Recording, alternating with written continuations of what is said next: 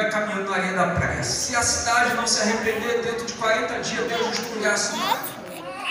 E aquilo vai ganhando uma proporção na, na ousadia, sabe? Se não se arrepender, Deus vai destruir.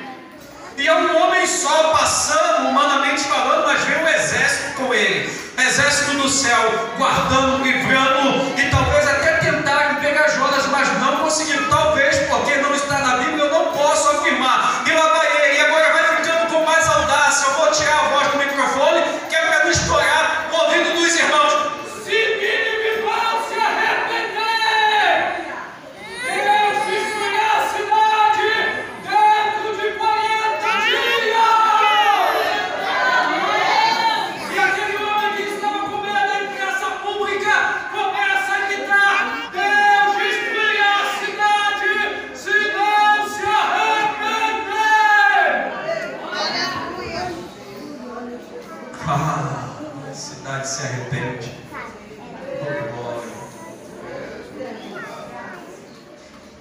maior até o menor, o rei baixa o decreto até os animais em jejum, cobertos com panos de saco. O trabalho do profeta está pronto, está executado. Ele sobe uma colina, faz um cabaninho para se proteger do sol. Não muito bem executada, Deus faz crescer a broboeira ele deita, ele dorme lá, esperando, sabe o que? Deus tem mais é que destruir. Né? Deus falou que ia destruir, podia destruir mesmo. Acabar com tudo.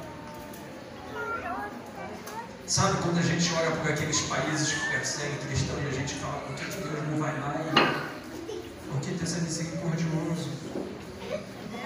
É como Jesus disse para Pedro, vós não sabeis de que espírito sois.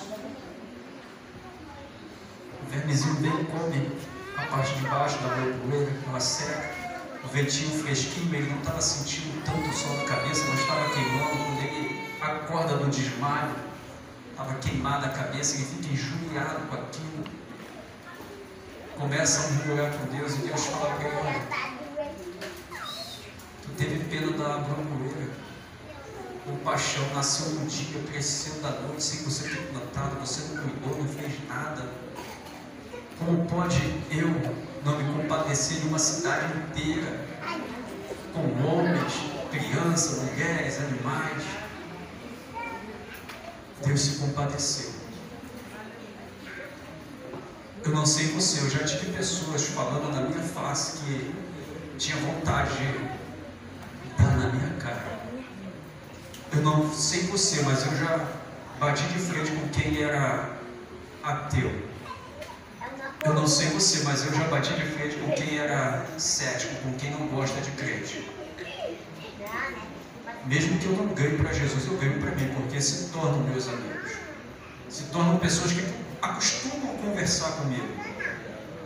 Então, querendo ou não, seja de qualquer outra denominação, de qualquer outro segmento religioso, vai ouvir uma hora ou outra da minha boca que Jesus salva, que Jesus liberta e que Jesus transforma o homem e faz ele ser o consumador do céu.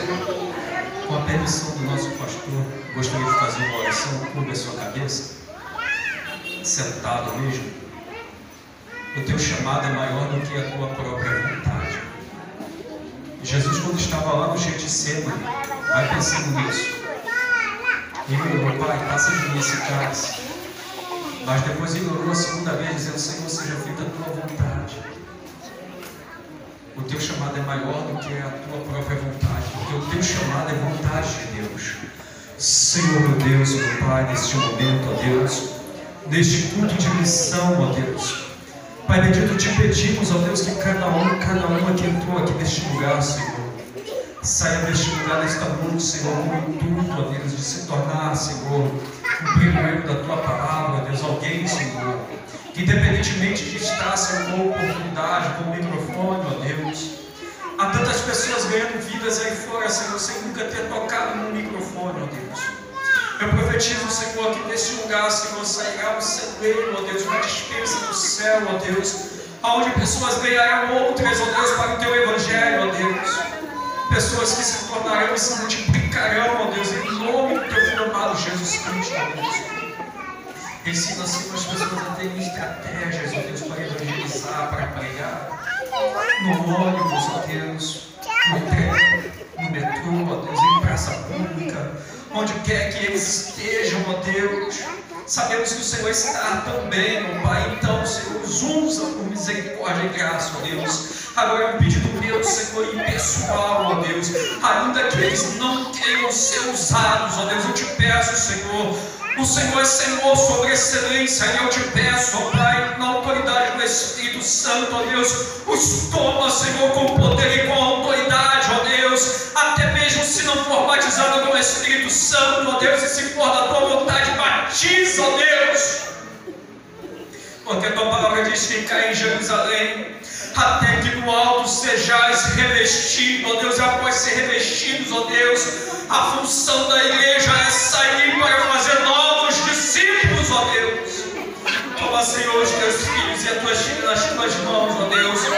Ensina, ó Deus, a ganhar vida em nome de Jesus. Amém.